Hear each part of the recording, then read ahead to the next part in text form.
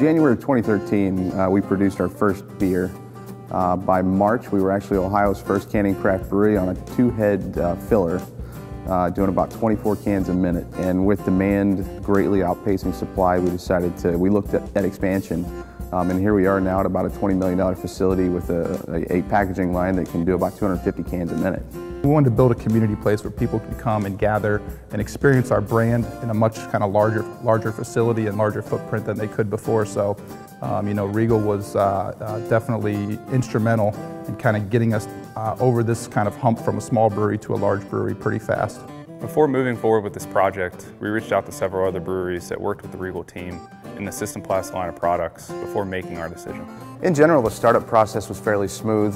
Um, you know, I've heard horror stories where it's taken some, some breweries six to nine months, even longer, to, uh, to get through the startup process. And if I remember correctly, we were running fairly smoothly within the first month. The Regal team really helped overall by focusing on MadTree specific priorities, what our design goals were, what we really needed to accomplish to get this packaging line up and running.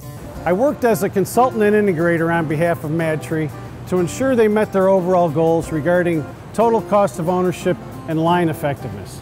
I specified the proper bundle of parts.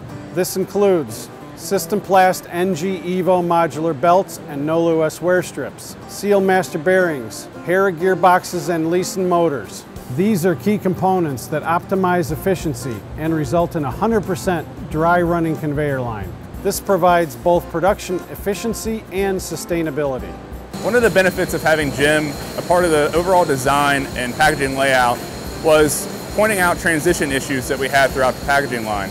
One of those transition issues was an end-to-end -end transfer with a piece of equipment.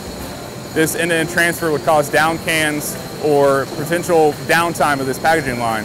To solve this problem, the Regal team came up with a side transfer module.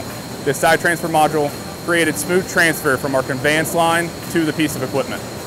One of the tools the Regal team provided during the installation and startup was a punch list. This punch list helped point out installation issues and things that we didn't really see ourselves.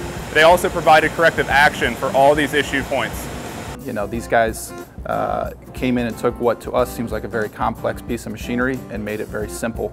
Um, and I know, I know they do projects that are much larger than this, uh, but for us it was very key. Um, they were key in bringing all these components together. I think one of the most important things for us is making sure that we're conducting business in a very sustainable way, uh, friendly to the environment.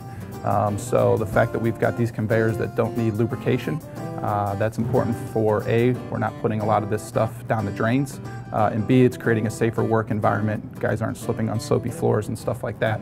The end result is better overall efficiency, higher yield, faster throughput, generally less maintenance.